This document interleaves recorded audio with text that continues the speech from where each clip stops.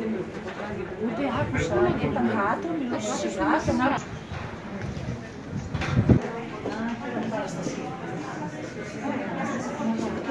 Da,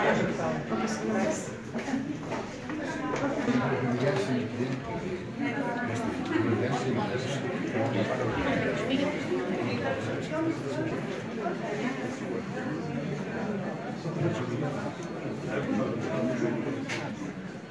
Θεωρώ ότι με τη στελέχωσή του, με οικογενειακούς γιατρούς, με γενικούς γιατρούς, παθολόγους και παιδιάτρους και με μια διεπιστημονική ομάδα υγείας, με νοσηλευτές, επισκέπτες και κοινωνικούς λειτουργούς, ε, συγκροτούμε ε, μονάδες υγείας οι οποίες πραγματικά θα μπορούν και να προσφέρουν ε, ποιοτική φροντίδα στον κόσμο, πρωτοβάθμιου χαρακτήρα και κυρίως να δώσουν έμφαση στην πρόληψη και στην αγωγή υγείας και στην παρέμβαση στην κοινότητα. Αυτό ήταν το μεγάλο κενό στο ΕΣΥ από ιδρύσεώς του.